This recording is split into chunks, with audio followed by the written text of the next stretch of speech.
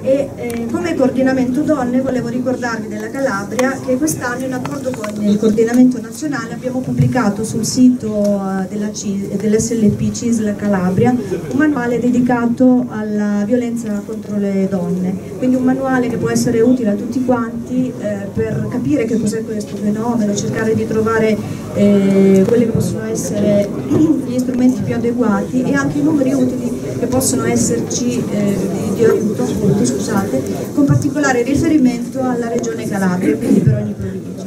A questo proposito volevo ringraziare tutte le colleghe, che, le coordinatrici che ci hanno aiutato in questo lavoro e in particolare alla coordinatrice di Catanzaro, Ilaria Fragale, che ha dato un grande sostegno a tutte quante.